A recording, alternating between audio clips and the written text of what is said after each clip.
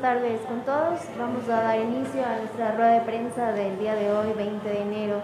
Está con nosotros el director técnico Pablo Marín. Profesor, gracias por Buenas tardes. Buenas tardes. La primera pregunta que tenemos es de Maite Montalvo de Radio La Red y Liga TV. Hola Maite, ¿cómo estás?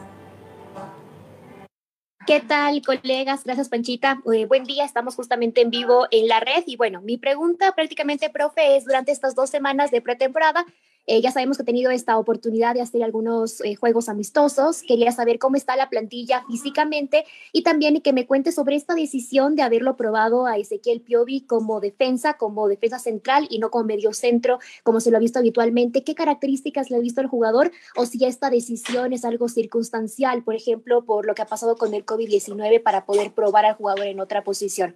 Eso, profe, muchas gracias. Buenas tardes. La verdad que estamos muy bien desde el punto de vista físico, todos los, los que pudieron entrenar realmente lo están haciendo de una manera extraordinaria, eh, con niveles altos de desempeño. Eh, lo de Ezequiel, obviamente todos saben qué pasó con Franklin, cómo viene eh, Moisés, Said que está adaptándose también a la altura, así que bueno, es una decisión por ahora circunstancial. Continuamos la siguiente pregunta con Didi Gómez de Max Deportes. Hola Didi, ¿qué tal? Gracias, Panchita. Buenas tardes para todos los colegas, lo propio para el profesor Marini. Profesor, ¿es de su gusto el jugador colombiano Andrés Andrade, quien juega como volante de creación y que aparte también es de las características que usted está buscando eh, dentro del mercado internacional? Muchas gracias y desde ya, profesor, deseándole muchos éxitos en lo que será la temporada 2022. Tarde, muchas gracias, igualmente. Eh, creo que lamentablemente el rifle Andrade es del gusto de muchos entrenadores, así que bueno, estamos viendo muchas, eh, o teniendo muchos problemas también con eso, pero sin duda que sí. Continuamos con la siguiente pregunta de Jackie Enríquez de Área Deportiva. Hola Jackie, ¿qué tal? ¿Qué tal Francis? Muy buenos días, profesor, muy buenos días. Bueno, uno de los temas que en realidad no conocemos es cómo va a terminar la situación de Andrés Chicaiza.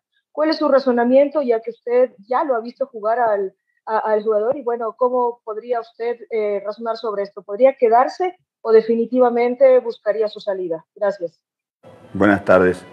Mm, bueno, capaz ustedes tengan duda, nosotros no, ni el jugador.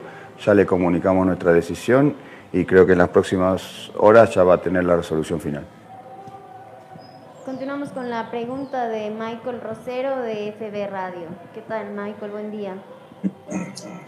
Hola, buenos días, Panchita. De igual manera para todos los colegas. Un gusto saludarle, profe, que nos cuenta de la planificación. ¿Cuántos partidos amistosos va a tener Liga en las próximas semanas, empezando desde este domingo por el cuadrangular, donde enfrentarán a Independiente? ¿Cómo está esa situación y la adaptación también de los extranjeros a la altura, que también es un tema importante, profe? Muchas gracias tardes, muchas gracias.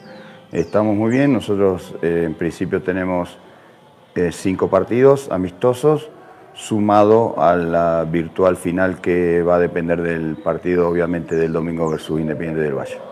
Con respecto a los jugadores, obviamente que la sensibilidad con respecto a la altura es alta, eh, están algunos sufriendo más que otros, en el medio esta rotación de jugadores con COVID, que se van recuperando, que van cayendo, así que bueno, lamentablemente eh, creo que vamos a convivir con estas circunstancias, así que tratando de, que se recuperen lo más rápido posible y que lleguen de la mejor manera al inicio del campeonato.